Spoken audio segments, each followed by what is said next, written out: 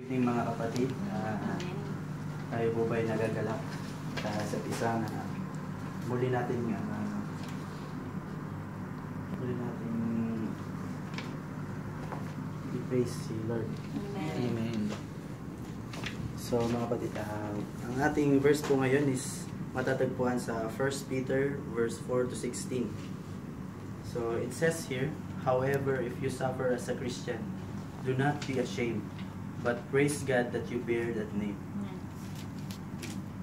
So, keywords po natin dito are suffer and bear.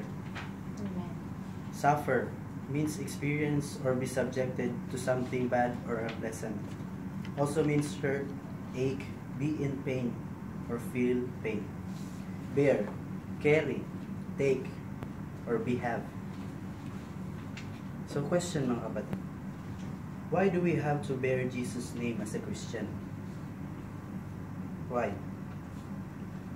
Simply because as a Christian, we believe that He is our God and He is the salvation of mankind, right? Ba mga kapatid? Amen. Amen. Why do Christians suffer as a Christians? Bakit? Bakit tayo nagsasuffer na nagsisilbi naman tayo sa Diyos? Diba? Bakit? Because of the unbelievers. Because of the people who has lack of faith in Him and lack of knowledge about His words. So mga kapatid, in your lives, are there any happenings that you experience sufferings? Amen. Meron, di ba? Of course, yes. So, ang first po ito, pwede, na, pwede rin nating mahalin tulad sa isang kasintahan. Kasintahan na mahal na mahal natin, di ba? Pero sa kabila nun, may mga, yung pamilya, pamilya na- natin, kaibigan natin, o ibang tao against sa minamahal natin. So, di ba, syempre, hahamakin ng lahat, masunod ka lamang kumbaga, di ba? Ganon, di ba? So, ganun din tayo as a Christian. As a followers of Christ, all of us experience also na nangihina tayo or may tumutulig sa atin. If we suffer, we get hurt. Nasasaktan tayo mga kapatid. Pero anong sabi ng Diyos dito? Ang sabi niya, do not be ashamed. Huwag kang mahiya. Bakit? Because when we suffer for being a Christian, we suffer the same painful trial, the same fiery test that Jesus endured. Ineffective, we participate in the sufferings of Christ. That is why we can praise and rejoice. Magsaya tayo mga kapatid kung tayo Amen. nahihirapan. Um, so Mark 8 verse 34, it says here, Then he called the crowd to him along with his disciples and said, If anyone would come after me, he must deny himself and take up his cross and follow me.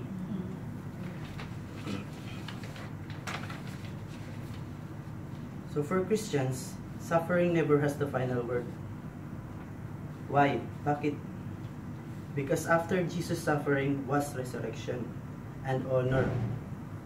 Kaya dapat tayong magsaya mga kapatid ng may kagalakan. That is why we can continue to be joyful, joyful in all cir- circumstances. Suffering is a means to an end. Hindi ibig sabihin na nagsasuffer ka hanggang ganito na lang. Kundi ito ay simula o hudyat na may pagpapala na ibibigay ang Diyos sa kung sino mang nanam- nananampalataya at nag-isa sa Kanya. Amen. Suffering prepares us for God's final judgment. Mga kapatid. We know the end of the story in the Bible, right? Si Jesus ay babalik and His glory will be revealed. Amen. Our salvation will come. If we can rejoice in the painful, painful test now, imagine how overjoyed we will be when God's glory is revealed. Amen. Ba, mga kapatid? Such, such joy cannot be contained for all eternity. In the meantime, though we have journeyed to live out in the world, and it's in the world that we will find opposition, insulto at pag-aabuso ay darating sa mga sumusunod kay Kristo.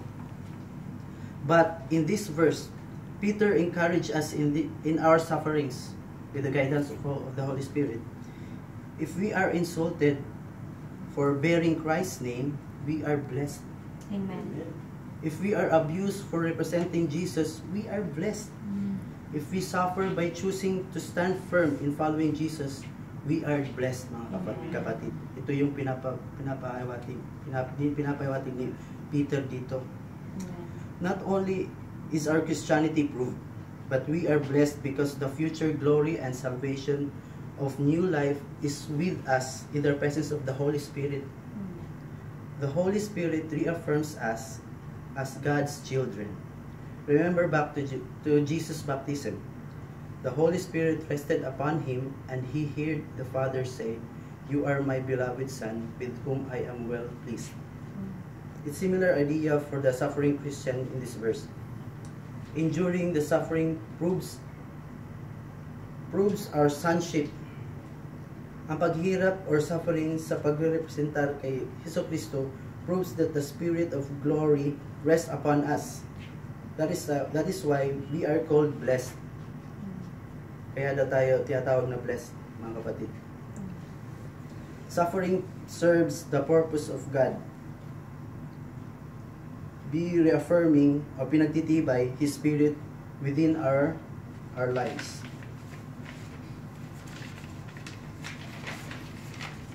So, mga kapatid, brothers and sisters, kung tayo nangihina, kung may tumutulig sa sa atin, dahil nagsisilbi tayo sa Panginoon, maging masaya ka, magkaroon ka ng kagalakan, sapagkat nalalapit na ang pagpapala ng Panginoon sa iyo. Amen.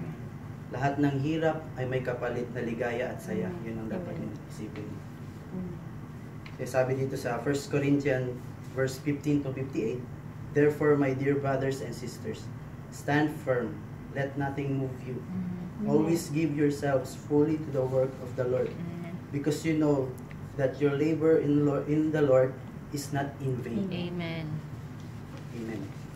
So, um, mga kapatid, ah, pwede po ba natin kantahin yung um, isang kanta, I have decided to follow Jesus.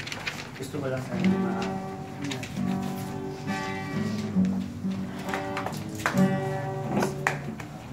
I have decided to follow Jesus. Decided to follow Jesus. I have decided to follow Jesus.